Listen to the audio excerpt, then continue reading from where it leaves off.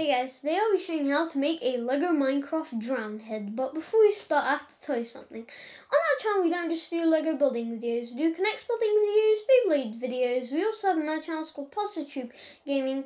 We do gaming videos such as Minecraft, Combo Roblox, Bloons TD Battles, Grand Empire of Rome, Among Us, and Stick War Legacy, and a new game, Bloons TD Battles 2, and eventually a new game, Stick War Legacy 3.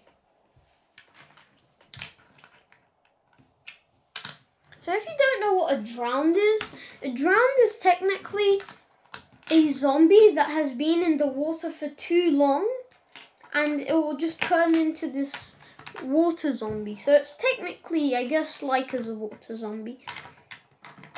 And it is very dangerous. That's all I'm going to tell you. Because some of them spawn with tridents. And if you just spawned into the game with no armor or protection, they can two-shot you. That means, yeah, you have no chance of escaping them. So you need to be careful once you go in the water. At least have yourself a weapon or some good armor like thorns.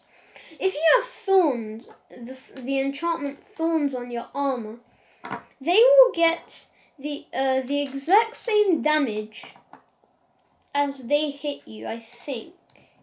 But it does. But if they hit you, you you take damage. So I'm not sure exactly how much the the damage way. I don't know how much it's like that. But it does do a lot of damage.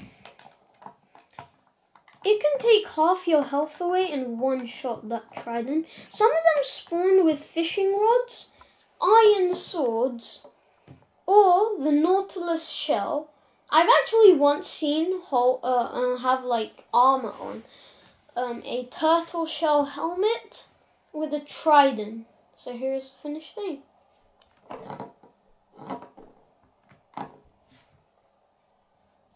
hope you guys like it. Subscribe to see my videos. Bye guys.